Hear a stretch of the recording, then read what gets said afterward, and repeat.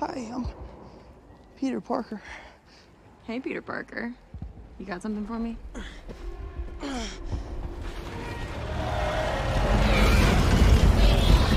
don't know how you're gonna get it through all of that. What's up, folks? Mike for CMCC Builds, and welcome back to part two of Treantmonk vs. the Gauntlet.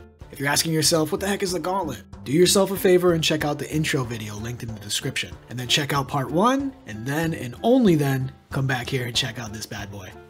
Map 1 of this gauntlet is always a doozy, so be sure not to skip it. For everyone else, like I said, welcome back. If you have interest in playing or DMing gauntlets, consider joining the Gauntlet Discord, where people find games, attempt to beat this level 14 gauntlet, and gauntlets at a variety of levels that will be featured in upcoming videos. Speaking of which, after today's gauntlet run, we will see a straight class monk take on this level 14 gauntlet. Ooh, and another YouTube optimizer, friend of the channel. Between those runs will be the regularly scheduled programming, builds, D&D thoughts, maybe the return of some old classic series. We'll see. And finally, I want to give huge thank yous to my patron Douglas Reynolds and his fantastic support. Bearworks and Fake Fairy Tale for the wonderful maps. Oddfather for running the game. And Chris for taking a chance and giving this whole gauntlet thing a try. Lots of people can, and in fact did say no. Chris not only said yes, but he had multiple videos discussing his experience with the gauntlet. Most of you have seen it, but if not, give it a watch. Last we left off, the team had just entered the next chamber on the way to infiltrate the desecrated temple to prevent the Mind Flayer Arcanist from completing its ritual. Kwayzar has gone through all six first level slots, all three second level slots, two thirds, and two fourth level slots, but was able to get a short rest prior to entering this chamber, which means two first level Warlock slots were recovered.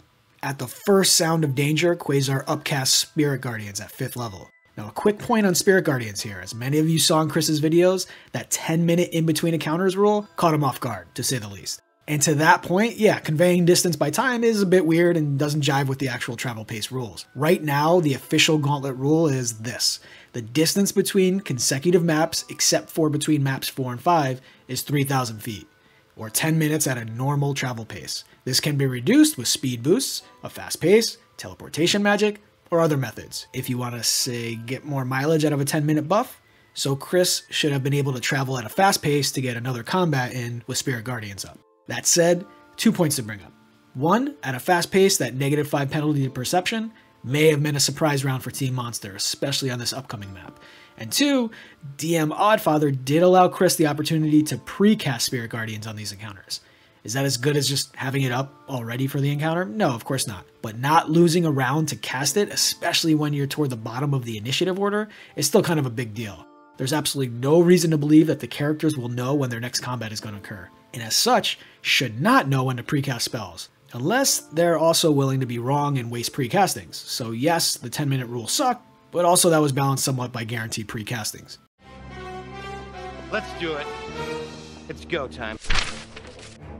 Here, all sides fail their stealth checks and roll for initiative. The sidekicks continue their strong run of leading the pack, with Kwayzar near the bottom, despite a solid 17. Round one. The expert kicks off the combat, but can't see a damn thing, so he readies a shortbow attack. The warrior makes a mad dash through the chamber, aggressively charging the first 30 feet, running another 30, and then dashing for a total of 85 feet of movement. The first Will-O-Wisp takes a crack at the orc standing in front of it. Invisible, it strikes with advantage and hits for 3 lightning damage. He reels back in anguish, shaking his hand from the carpet shock. Ouch! The next Wisp darts into the Spirit Guardians, failing its save and taking a massive 12 damage on a level 5 upcast. That's not a typo. But it is forced to make a concentration check on its invisibility, which it subsequently fails. As its light glows, it makes an attack without the benefit of advantage and misses the steed with a 12. The remaining wisps gravitate toward the cosmic swirl of radiant energy in the distance. And on cue, it's Kwayzar's turn. His steed gallops toward the exit, provoking an opportunity attack that misses. Pulling up in front of an invisible, but not hidden, poltergeist, Kwayzar fires off an Eldritch Blast at the wisp, guarding the path to the exit. A 20 hits for 12 damage. Not enough to kill the wisp, but Hadar pulls it into the Spirit Guardians where it succeeds on its save, but still takes 11 damage. Its light extinguished. Kwayzar then moves past the Geist who misses an opportunity attack. With the Geist just outside of the Spirit Guardians, Kwayzar takes a second shot, this time at disadvantage against the invisible target. Before we see the results of that roll, I know some people had issue with the movement in between the Eldritch Blasts, whether or not that's raw. I'm not going to discuss it here, but feel free to add your opinions in the comments below. Okay, back to the encounter. 18 hits for 12 damage, 5 of which are bludgeoning. That enables the first clause of the Crusher feat to kick in, moving the Poltergeist into the Spirit Guardians, where it does make it save, allowing it to live, until the next Eldritch Blast that hits it with a 20 and deals 14 more damage. Dead. The Geist dart in toward the heroes. Three of the four make attacks, as line of sight can't be established for the fourth, but only one of those hits. It rips Kwayzar off his steed, inflicting 8 bludgeoning damage as he smashes into the floor. Round 2. At the top of the round, the roaming encounter makes an appearance. The assassin enters at 16 and the Winter Wolf at 7 in the initiative order, but more importantly, they impede the path of the escaping party. The expert takes a shot at the Winter Wolf, hitting for 8 damage. The lack of enemies within 30 feet means the expert is unable to use the helpful bonus action, which hinders both his companion's effectiveness and his own damage output. The Will-O-Wisps whiz across the battlefield, dashing and repositioning themselves for the possibility of effective attacks in future rounds. The orc rushes over through the cosmic swirls, using a bonus action aggressive feature to reach the nearest poltergeist, again invisible but not hidden. Two attacks, which should be at disadvantage, both hit, one a critical, and deal 30 damage eliminating the undead creature. Kwayzar's turn and he immediately switches up tactics, moving 15 feet. He then uses the remaining 15 feet of movement to mount his horse. The horse, able to move on the turn it's mounted, takes off in the opposite direction of the exit. It stops just shy of the Spirit Guardians, reaching the northernmost wisps. Three Eldritch Blasts, the first two miss due to disadvantage, but the third barely hits. 16 damage, 5 from bludgeoning, pulling the wisp into the spirits and shredding it to pieces. Kwayzar, finishes his turn by pushing past the wisps, extending the distance between him and the assassin, who goes next. Seeing the element of surprise lost, and with little chance to gain a tactical advantage, the assassin retreats from the encounter. He will wait for the most opportune time to strike. Poltergeists start their turn, both fail their saves, and both die. Thanks for coming. The final Geist moves closer to Kwayzar, attempting to telekinetically rip him off his steed, but fails the Charisma versus Strength check. It then sinks into the ground, taking 9 damage. Round 3. The expert can't see anyone, so it takes a short bow shot at the nearest wisp it can hear. A natural 1 and a natural 20, regression to the mean in real time. The wisp's turn, and the first one, caught in the galactic swirl, dissipates into nothingness. The next moves into attack the orc, but misses with a 15. The final wisp floats toward the intruders and hides. Nat 20 with a plus 9 modifier means it is indeed hidden. The warrior attacks the will-o-wisp in front of him and misses with both attacks. It's just not his day, folks. Kwayzar moves 5 feet toward the nearest wisp and telekinetically pulls it into the Spirit Guardians.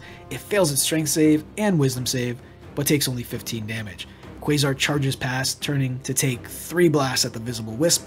Somehow all 3 miss. Those high ACs matter, go figure. The Geist pops out of the ground. It uses its telekinetic thrust on Kwayzar and rolls a nat 20 charisma check. Kwayzar buckles down, and Chris rolls a natural 20 right back at him. Kwayzar is somehow able to resist the pull of the invisible spirit. The Geist, dejected, retreats, knowing that if it survives the encounter, it'll never hear the end of it from its poltergeist buddies. It sinks into the ground, taking 9 more damage. Round 4. The expert uses the help action against the Wisp and attacks, missing with an 18. The Wisp's turn. The first makes a wisdom save and fails. It's crushed by the spirits into a single black speck, dead. The final Wisp flies into the galactic mist, fails its save, takes 15 damage. It fails its con save to maintain concentration and loses invisibility. Despite that, it's still able to shock the expert for 4 damage. The warrior scoots around the warhorse to get to the Wisp where he takes a big swing and shatters the glowing globe. Kwayzar rushes to the last known sound of the final enemy and just waits. The moment it pops its invisible head out of the ground, Kwayzar destroys it with Eldritch Blasts. The MVP of this map was certainly the Warhorse and the Find Steed spell. Movement, when used correctly and with the appropriate maps, can be an incredibly powerful tool. Having taken almost no damage, and with only a level 5 slot expended, the party struts through the remainder of the catacombs, reaching the path that winds its way to the Stone Temple's wooden doors. And yes, for those who have seen the Nuke Gauntlet run, this is a new temple map. The old one was, it was just too big. And some of the environmental details were unclear, so moving forward, the Gauntlet will use this one. Back to the encounter, Kwayzar decides to hold back a casting of Spirit Guardians before entering the temple. With his knowledge of the priests inside the place of worship, priests can dispel magic, and Spirit Guardians is no good to you if it gets dispelled on round 1. As we did on map 1, with no Spirit Guardians up, we roll initiative. The warrior leads the way with the expert right behind, again. Kwayzar, on the other hand, rolls a nat 1, which puts him all the way at the bottom of the initiative order. Round 1. The warrior strides forward and dodges. The expert stays mounted on his horse and does the same. The frontline priest pushes through the double doors, casts spiritual weapon as a bonus action, and attacks the steed. A 12 misses due to the horse's barding, bringing that AC to 18. With her action, the priest dodges. The northernmost priest breaks through the window to get a line of sight on the intruders. She casts Guiding Bolt on the mount. Knowing full well the danger of a mounted combatant, the Guiding Bolt lands and deals 13 radiant damage as she hops back inside the temple for cover. The remaining two priests creep ahead, ducking behind the pews and casting Sanctuary on each other, and then dodging. The first four veterans peek outside and take crossbow shots at the largest target, the horse. All missing, even with the first vet's advantage from Guiding Bolt. They duck back inside the temple with their remaining movement. The final vet dashes ahead 60 feet. The clay golem lumbers out of the stairwell. Kwayzar's turn. He prods the horse around the outskirts of the temple, stopping briefly to fire three Eldritch Blasts at the priest, killing her. He then pushes around the stone outcropping to find some cover and stay out of the veteran's reach. Round two. The warrior rushes to keep pace with his allies.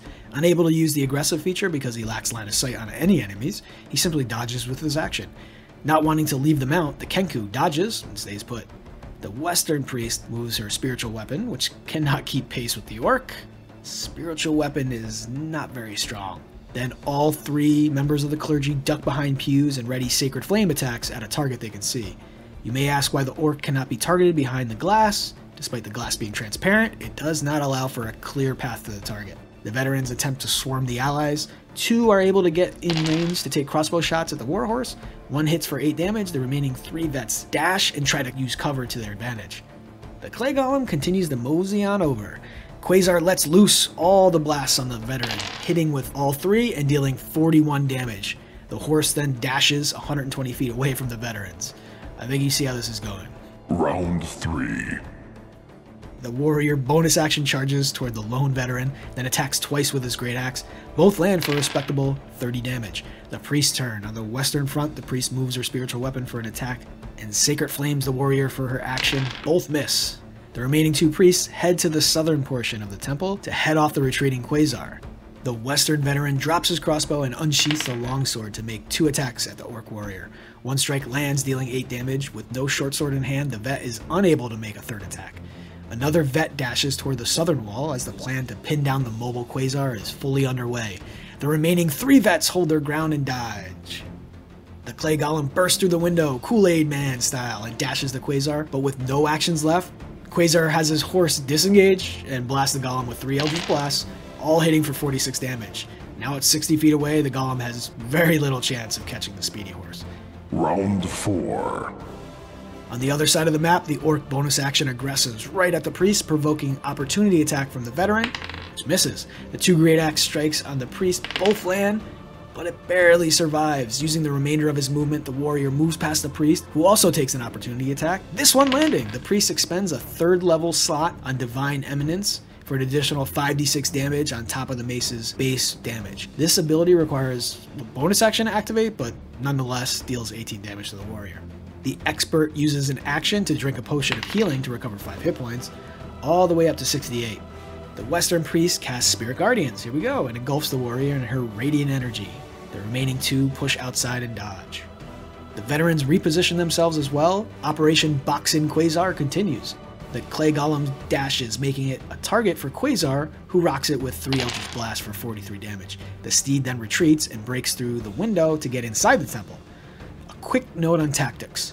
For those planning on DMing this gauntlet, and anyone who wants to should go join the Discord and try. Remember that the player needs to stop the Mind Flayer, and this necessitates that they enter the temple and move to the final map after this one. It is the priests, veterans, and golems' job to stop the player from doing so. If the player wants to run around the temple picking off enemies from range, there's absolutely no reason to go outside enabling that plan. Hunker down, guard the steps, and make the player come to you. Of course, I say that having watched the encounter and seeing how it played out, and with hindsight 2020, but I think it's important to note. And to Chris's credit, if he would have just cast Spirit Guardians, went inside the temple, and had the priest dispel that Spirit Guardians the moment he walked through the door, he would have been swarmed by the vets and the priest's own Spirit Guardians. And even if they didn't finish him off, they would have bought the golem enough time to get into melee and finish the job. Instead, he did just the opposite, drew out and split up the enemies, whose only chance was to box him in at that point.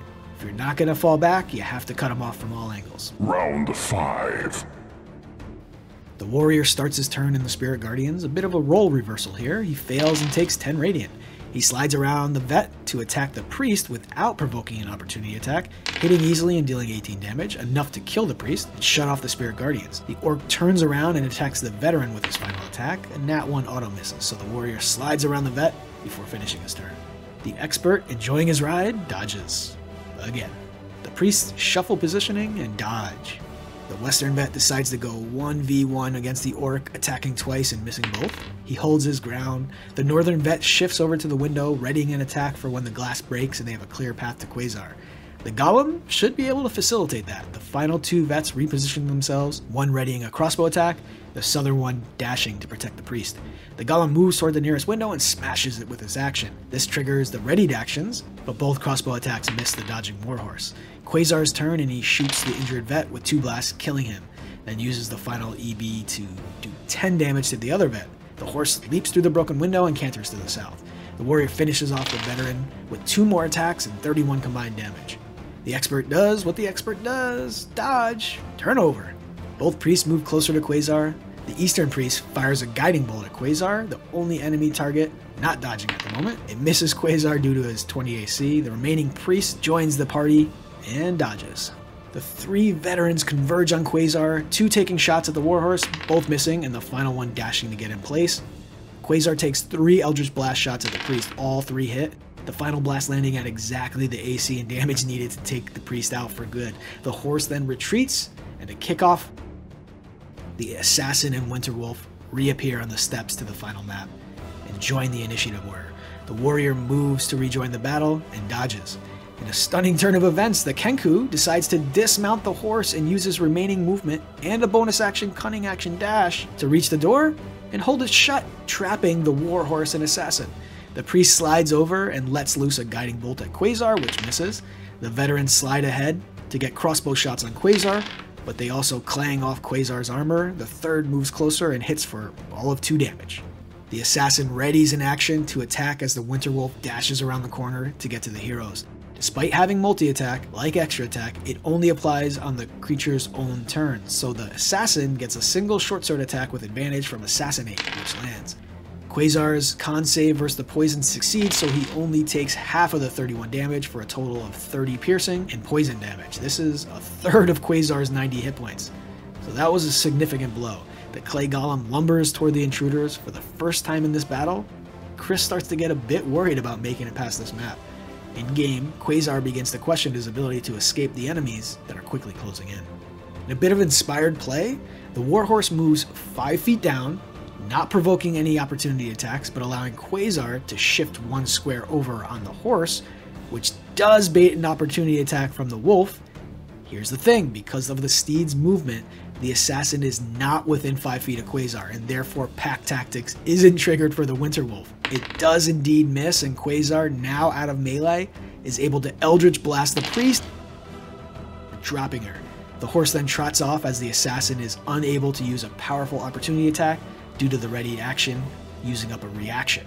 Once clear of the danger, Kwayzar, who has only cast the cantrip this turn, uses a bonus action to cast Sanctuary on himself, which due to the Find Steed spell affects the warhorse as well. The horse then dashes to increase the distance. What a turn. The warrior does the same and the Kenku opens the door and flees to the next level. I hope for his sake there's nothing waiting for him at the bottom of those stairs. At this point, we're going to fast forward a bit as Kwayzar maintains a safe distance from the enemies, blasting them from range, pulling the assassin off the Winter Wolf with Grasp of Hadar to slow its ability to chase, and moving around the outskirts of the temple. He eventually casts a 4th level Spirit Guardians as the threats from the assassin and Winter Wolf are eliminated. Once Spirit Guardians is up, Kwayzar moves inside the temple and uses the combo to Eldritch Blast and pull the vets into the Radiant Cosmic Swirl, eliminating them from the battlefield. And after 14 rounds of combat, some of which were touch and go there, Kwayzar clears the first level of the temple and prepares for the final combat with the Arcanist and its minions.